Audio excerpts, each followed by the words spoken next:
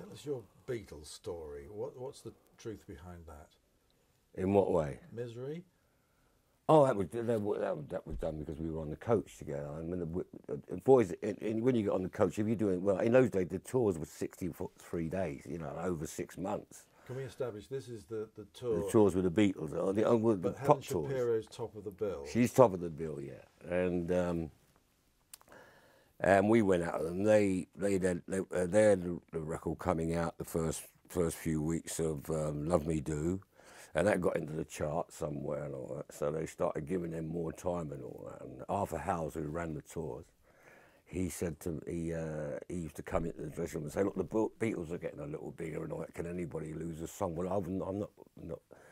I'm not uh, one of the person of being on stage very long. I like to do as little as possible, and uh, so I don't. I'm not. I'm not really a showbiz person in that way.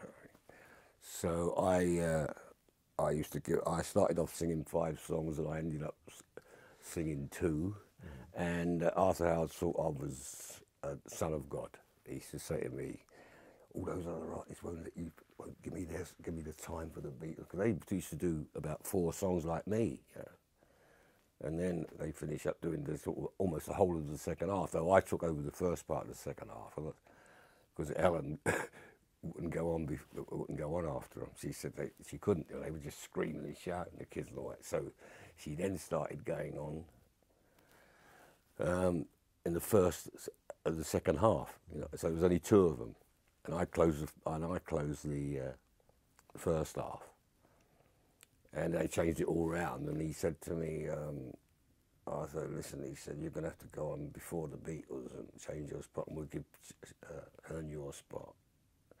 Apart from the fact I couldn't get out the theatre much earlier, it was a, was a bit of a pain. But I said, oh, yeah, okay, fine. Because he let me take out all these, well, he, he thought I'd let him take them out, but actually I didn't want to do them anyway, you know. And um, the reason uh, that um, we had two girl singers, I can't remember the other one's name for the moment. Uh, the reason that uh, she she wanted to come off the, the second half as well because when she walked onto the stage, they just used to start. We want the Beatles. We, I mean, it was terrifying noise. It was like a, a, a tribe, you know, getting, getting themselves ready for war. And then he said to me, "Look, Ellen can't do this. Doesn't want to do this at this bit anyway. So she'll go and laugh." But they used to start. at We want the Beatles from about the time the doors opened. You know what I mean? When they when they were getting bigger and bigger. And um, so I went on to do the, my two songs, and they, and the first time I went, I remember I went on, they were all saying, "We want the Beatles," and I just walked out on stage and I stood in front of the mic like that, and they was all saying, "We want the Beatles," really heavy, and it was getting closer and all that. So there was nothing, and I said, "I've got two songs to do." I said, "I don't want any of this. We want the Beatles stuff."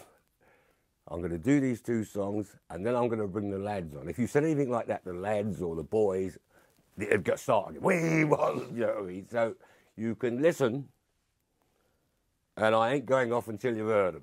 You know, I should talk to them like that. You know. So, so uh, it would be definitely silent, and I'd get cricket cricket claps of this, like this, both the first songs. You know, I, mean? I don't usually. I did up on the roof as, as the second song, and I did uh, listen to the rhythm of the falling rain or something first. And uh, I used to come off and all that, and I used to go right. The Beatles, and then walk off, you know, they'd all come on and then they go potty again. But I was the only one that, because the boys didn't want it. They wanted to sing all the time. Everybody wants to be, they want to sing. I mean, I've been singing with dance bands for years by then, and I was really fed up with singing. I just wanted to get on it and get off, get me done, and go home. You know what I mean? And, that, and that's the way I looked at it all. You recorded a Beatles song. Uh, oh yeah, the reason I did that is they wrote it for Helen. Actually, wrote it for Helen. And uh, when when you when you're on tour, you, you, you team up like footballers. They team up. I mean, I, I, I was always with, with, with John Lennon, always, you know, because he was as mad as I was, and he didn't care about anything like I did, you know.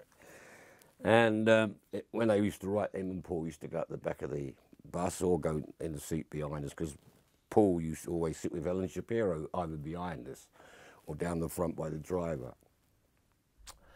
And they brought this song. I hadn't heard the song at all, they, we were all getting on the coach and that. And she came over to, to we, I was talking with John and Paul, and, and she came over and she said, I think that song's a bit too manly for me and all that. So he said, no, no, we, we've written it for you. She said, well, I don't know. I, you know, I'm only 16 or 15, whatever she was. So I said, what's, what's the song then? Let's have a listen. So Paul got down, sat down and got his guitar and he played the song for me. I was doing the album.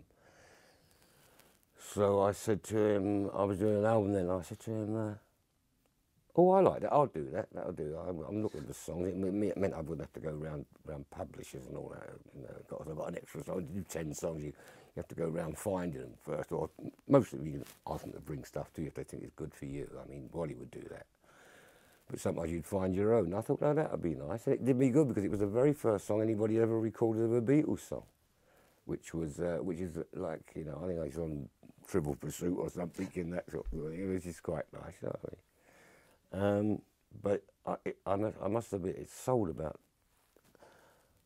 More people have spoken about it than bought it, I can assure you. I mean, everybody says, oh, you're the first guy to do a Beatles song and all that. And it sold about 7,000 records, I think. Which in those days, to have hits, you know, you get 100,000, you know what I mean? And it was, it was useless everybody I know now who sees me has got it it's like everybody was at the Randolph Turpin fight and everybody was at the World Cup and all that kind of stuff. Did you ever tell the Beatles that you reckoned they weren't good songwriters? No. If anybody said that, no. I always thought they were good songwriters. I didn't think that they are. They weren't my kind of songs.